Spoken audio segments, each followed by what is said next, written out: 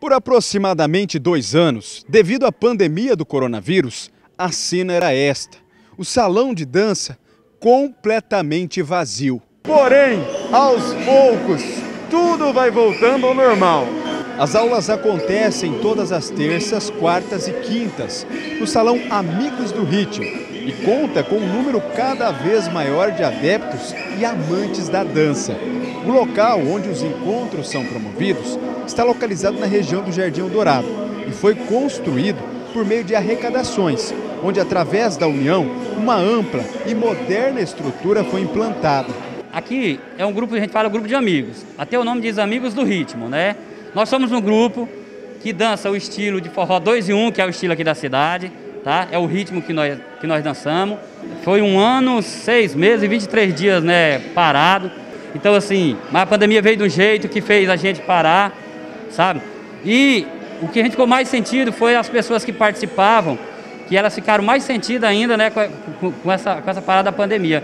Que além de não ter mais a sua atividade física que vinha fazer aqui, começou a sofrer com pessoas da família, né? É, acometida com essa doença. Com certeza. Enquanto a gente está gravando, Narciso, continua, olha ali, ó. A dança não para, até aqui fora, é alegria. E essa união, sua esposa sempre com você também. Sim, é uma parceira, né? E a gente enfrenta a correria do dia a dia junto, tá aqui. Aí, ó. A filha querendo papai, né? Tá aqui, ó, nasceu durante a pandemia, tá com um ano, três meses. Futura Pedival. Pedival. E dorme dançando. E agora nós vamos conversar com o seu Air Mesquita, que tem 77 anos. Seu Air, eu vi que o senhor tava dando um show ali. É Como doido. que o senhor consegue? É vitalidade, né? Não parar. O senhor não tem tempo ruim, não. Graças a Deus. E como que foi esses dois anos quase, sem vir pra dança? O senhor sentiu falta? Tava falando pra menina ali, eu já tava com as pernas doendo, mas já ontem já melhorou agora eu tô sabendo que o senhor tá até mais feliz. Graças a Deus. E quem não sabe dançar igual esse repórter aqui, só que tem que vir aqui aprender ou não? É, mas eu acho que esses repórteres tudo sabem.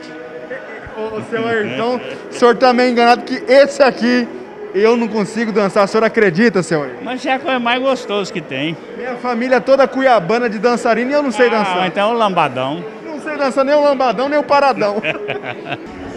Editor e dançarino nas horas vagas. Parou, parou, vem pra cá. Meu amigo, por que, que você não tá dançando, tá conversando? Rapaz, é porque tem que dar um tempo, né? Porque dá um suador danado dançar. Mas você dança mesmo? Nada, engano, rapaz. Isso aqui é uma terapia, né? Porque o dia a dia é, é complicado. E a gente vem aqui para desestressar. Dançar é o de menos. E a gente aprende, né? Tem bastante instrutores capacitados. E é isso, é, é desestressar do dia a dia da nossa atividade. Agora deixa eu dançar. É, meu amigo Tiagão, enquanto o pessoal tá dançando, eu confesso que eu fiquei sentado. Eu não tentei dançar não, senão eu ia passar, era vergonha. Mas Thiago Bonfim e os amigos que nos acompanham, o convite está feito.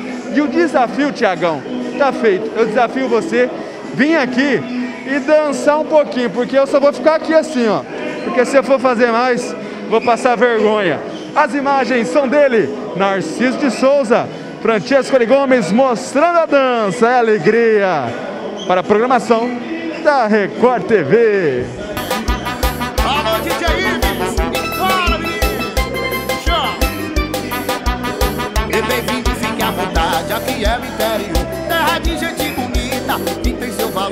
a gente não tem besteira, a gente chama na pressão. Se tem forró de verdade, aumenta o som do paredão. Bem-vindo, fique à vontade, aqui é o interior. Terra de gente bonita, que tem seu valor. A gente não tem besteira, a gente chama na pressão. Se tem forró de verdade, aumenta o som do paredão.